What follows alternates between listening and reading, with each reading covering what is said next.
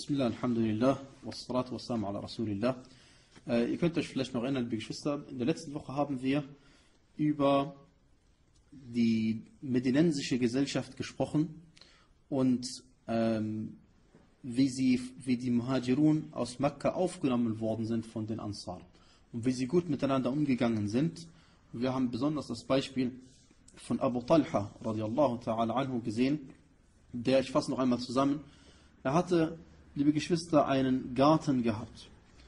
Und dieser Garten ähm, war ein Garten, der gefüllt war natürlich mit, mit, mit Palmen. Und der Prophet sallallahu alaihi wasallam hat folgende Ayah im Koran herabgesandt bekommen. Und zwar war es die Ayah, لَن تَنَالُوا الْبِرَّ حَتَّى تُنْفِقُوا مِمَّا تُحِبُّونَ Das heißt die Güte. Und die Güte ist die höchste Form, äh, höchste Stufe des gläubigen Menschen. Die könnt ihr erst erreichen, wenn ihr von dem hergebt, von dem spendet, von dem ausgebt, was ihr liebt. Hier sehen wir diese, und Abu Talha hat das natürlich umgesetzt, aber diese, diese Eier, diese Eier sehen wir, dass der Mensch erst die höchsten Stufen erreichen kann, wenn er die Liebe zu Allah subhanahu wa ta'ala über die Liebe zu versus, äh, alles Weltliche setzt und stellt. Das heißt, wenn du in deinem Herzen sagst, du liebst das Geld und du sagst dir, ich gebe es aber trotzdem her und bekämpfst dein inneres Ich, weil deine Liebe zu Allah größer ist, dann, liebe Geschwister, kannst du erst diese höchsten Stufen erreichen. Und deswegen, solche Stufen können auch nur diejenigen Menschen erreichen, die Zakat zahlen. Weil bei der Zakat ist es ja der Fall. Bei der Zakat zeigt man Allah subhanahu wa ta'ala, dass man seine, seinen Befehlen oder seine Befehle mehr liebt, als man sein eigenes Vermögen liebt.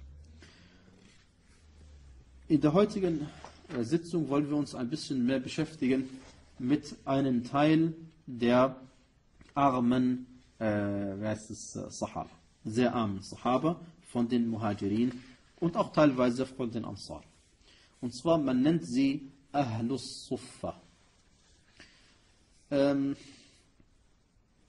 wir haben darauf hingewiesen, dass nachdem die Medinenser, nach, Entschuldigung, nachdem die Mekkaner ausgewandert sind nach Medina, gab es ein paar wirtschaftliche Probleme. Und zu diesen wirtschaftlichen Problemen gehörte, gehörten, dass sie ihre Häuser verlassen haben, ihre Vermögen hinterlassen haben, zurückgelassen haben, in Mekka, teilweise sogar ihre Familien. Und sie haben all dies aufgegeben, weil sie ihre Religion retten wollten. Sie sind nicht auf die Idee gekommen, radiallahu ta'ala anhum, dass sie ihre Religion verkaufen oder einen Teil ihrer Religion verkaufen, nur wegen ein paar Häusern oder Goldstücke oder Silberstücke oder was auch immer. Sondern sie haben sich gesagt, wenn es darauf ankommt, nee, natürlich, ich möchte meine Religion ausüben und deswegen verlasse ich alles, ist mir alles egal. Hauptsache, ich kann Allah subhanahu wa ta'ala so dienen, wie er es von mir wollte. Und es besteht kein Zweifel, dass sie wirtschaftliche Probleme hatten, weil sie auch kein Kapital hatten. Und die Leute in Medina waren ein Volk, das landwirtschaftlich tätig war. Und die Muhajirin waren ein Volk, die nicht Landwirte, die waren nicht Landwirte, sondern sie waren eben äh, Händler. Und sie hatten auch kein Grundstück in Medina gehabt und sie hatten auch kein, äh, es, äh, nicht einmal Bekanntschaften gehabt, außer wenig von ihnen. Und deswegen waren sie die armen Menschen zum größten Teil. Aber wir haben gesehen, dass Leute wie Abu Talha und andere so großzügig waren und sie aufgenommen haben und auch über die Verbrüderung gesprochen, Al-Mu'akhah, sodass das sodass sie trotzdem miteinander leben konnten und sich trotzdem einander unterstützt haben. Möge Allah subhanahu wa ta'ala mit ihnen äh, zufrieden sein. Als, liebe Geschwister, der Prophet sallallahu alaihi wasallam äh, nach, äh, nachdem er ausgewandert war, gab es eine Phase, von circa 16 Monaten, in der er in Richtung Jerusalem gebetet hat, Bethul Maqdis oder Al-Quds. Und erst nach 16 äh, bzw. 17 Monaten nach der Auswanderung, das heißt nach einem guten Jahr, fast eineinhalb Jahre, ist der Prophet sallallahu alaihi wasallam, hat er sich im Gebet gedreht in Richtung also Richtung Mekka, Richtung der Kaaba.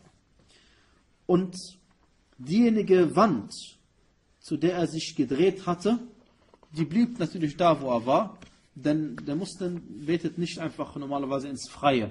Sunna ist es, äh, dass man nicht ins Freie betet, sondern in Richtung eines, äh, also eine Wand oder ähnliches. Das nennt man auf Arabisch Sutra. Und diese Stelle blieb natürlich zurück, weil er sich jetzt in die andere Richtung gedreht hat. Weil er sich jetzt in eine, ihr müsst euch vorstellen, das war eine Drehung von 180 Grad. weil von Medina Richtung, äh, wie heißt es, äh, Süden ist Mekka, ist die Kaaba, in Richtung Norden ist Al-Quds. So ungefähr kann man sich das vorstellen. Und nachdem sie sich gedreht haben, war sozusagen die eine Stelle in der Moschee jetzt, äh, wie heißt es, frei. Und dort hat man nicht mehr gebetet, im hinteren Teil der Moschee des Propheten sallallahu alaihi wasallam. Und dann hat er angeordnet, dass man diese Stelle überdacht. Und ähm, sie war aber nicht eingegrenzt seitlich, sondern nur von oben eingegrenzt und offensichtlich von der Seite der Qibla, von der Seite der alten Qibla. Und diese Stelle nennt man As-Suffa. As-Suffa ist der überdachte Ort. Das ist eine Stelle, die einfach überdacht worden ist. Und wir wissen nicht ganz genau, wie groß diese Stelle war, die überdacht war, äh, aber sie muss relativ groß gewesen sein, denn der Prophet sallallahu alaihi wasallam hat diese Stelle einmal verwendet für ein Hochzeitsessen, an dem ca. 300 Leute teilgenommen haben. Und äh, auch wenn auch äh, teilweise die Leute äh, es, äh, nicht nur da saßen, sondern auch in den Stellen außenrum, in den, in den Stuben des, seiner Ehefrau und des Propheten sallallahu alaihi wasallam. Aber das weist darauf hin, dass die Stelle nicht sehr klein gewesen sein kann. Aber dort haben sich, liebe Geschwister, die Armen von den Sahaba, möge Allah subhanahu wa ta'ala mit ihnen äh, zufrieden sein, aufgehalten. Und das war sozusagen direkt neben der Moschee. War sozusagen direkt neben der Moschee. Die ersten, die As-Suffa bewohnt haben und behaust haben, waren wie gesagt die Muhajir oder waren die Muhajirun. Und deswegen sagt man auch manchmal, das ist die Suffa der Muhajirin.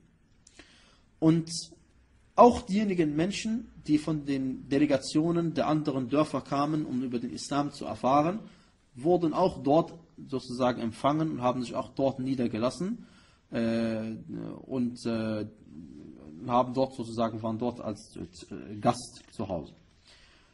Und auch der Prophet sallallahu alaihi wasallam hat Abu Huraira radiallahu ta'ala, er war einer von ihnen, Abu Huraira radiallahu anhu war einer von der Ahl Suffa. Er hat durch Abu Huraira immer gewusst, radiallahu ta'ala anhu, ähm, wer von ihnen wie stark im Iman ist. Wer von ihnen wie stark in der Ibadah ist. Wenn er zum Beispiel Leute einsetzen wollte oder Leute um Rat fragen wollte oder ähnliches. Manche von den Ansar, das heißt von den Sahaba von Medina, auch sie haben sich dort zu den Ahl al-Sufa dazu gesellt, obwohl sie selbst nicht arm waren und diese Stelle brauchten. Aber sie wollten sich diesem Leben entsagen und sie wollten äh, sie nicht in diesem Prunk leben, in dem sie vielleicht vorher gelebt haben. Und zu ihnen gehörte Ka'b Malik al-Ansari und Hanzara ibn Abi Amr al-Ansari, der von den Engeln gewaschen worden ist, und Haritha ibn Nu'man al-Ansari, möge Allah subhanahu wa ta'ala mit ihnen und allen anderen Sahaba zufrieden sein.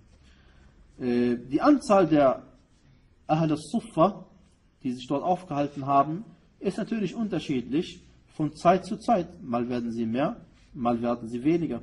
Wenn mal eine Gesandtschaft kommt, da sind sie mehr und so weiter und so fort.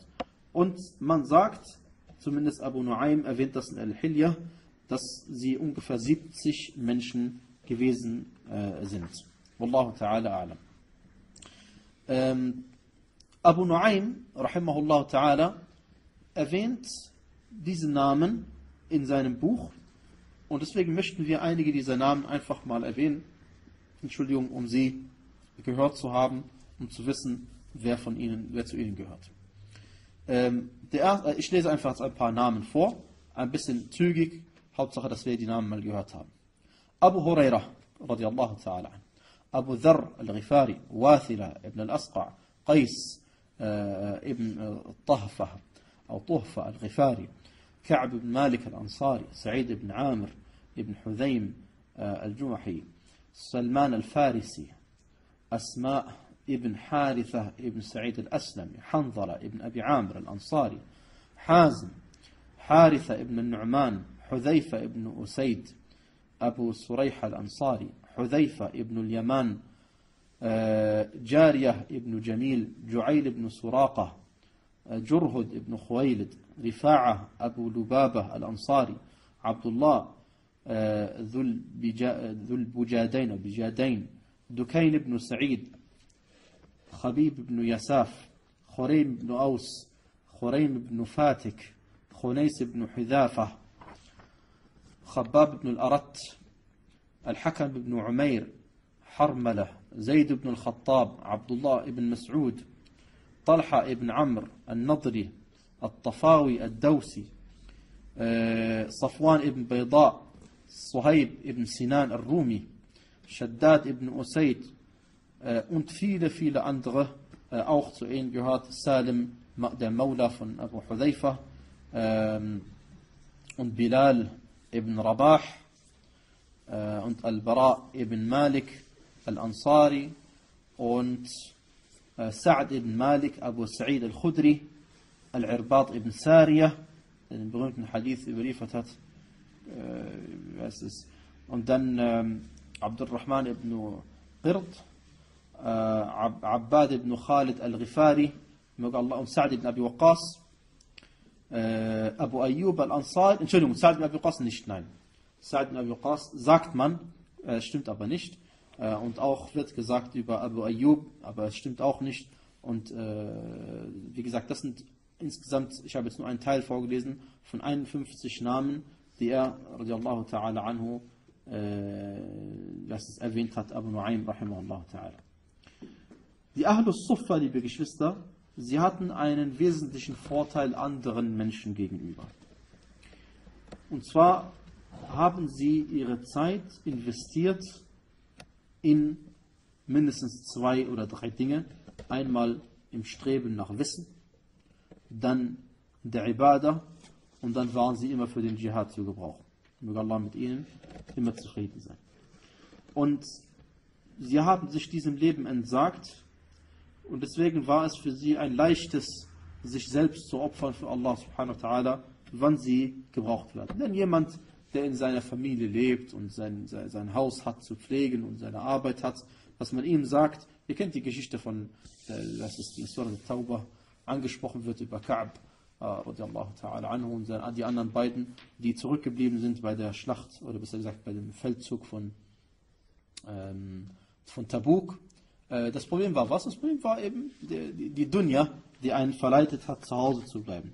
Aber Leute, die eh nichts haben, für die ist es viel einfacher. Und deswegen, was ist, was ist äh, angesehener bei Allah subhanahu wa ta'ala?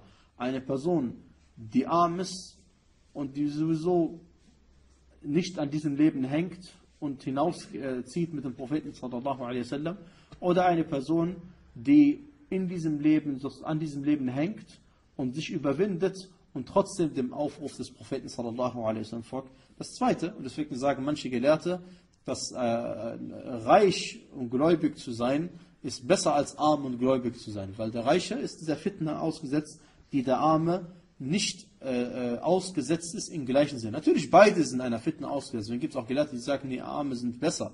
Arme, die, wie heißt es, äh, wie heißt es, äh, Gläubige sind. Wie dem auch sei, zweifellos ist Dunya eine Fitna, eine zusätzliche Fitna, der man ausgesetzt ist. Und deswegen bitten wir Allah subhanahu wa ta'ala,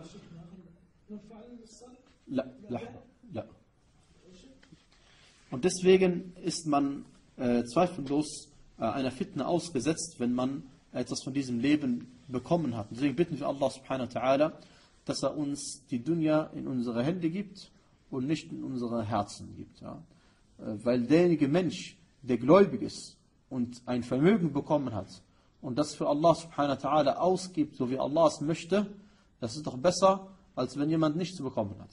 Aber wenn jemand was bekommt und diese Dunya kontrolliert ihn und er, äh, es ist, macht dann nur vom Islam das, was äh, seinem Vermögen nicht schadet und seinem Leben auf dieser Welt, dann hat er die Liebe zu diesem Diesseits vorgezogen der Liebe zu Allah subhanahu wa ta'ala.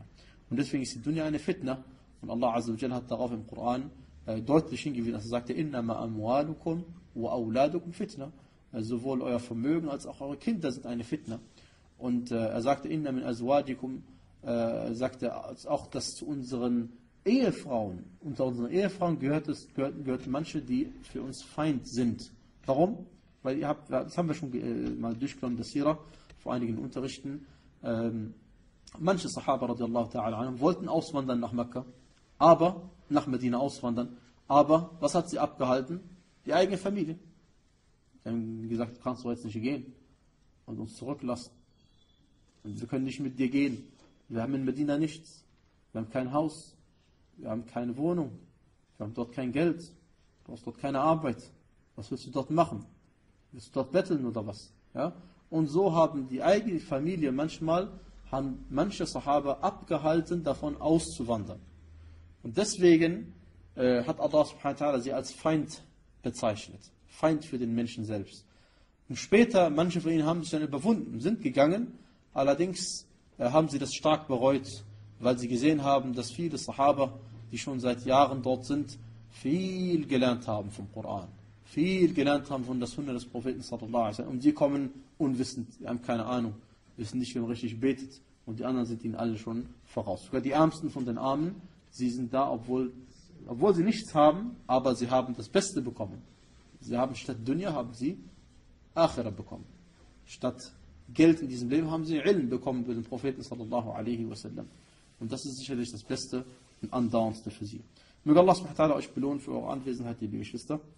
Und beim nächsten machen wir inshallah an dieser Stelle weiter, äh, wo es darum geht, dass sie sich äh, der Religion gewidmet haben. Besonders die Ahl Sufa. Möge Allah mit ihnen zufrieden sein. والآن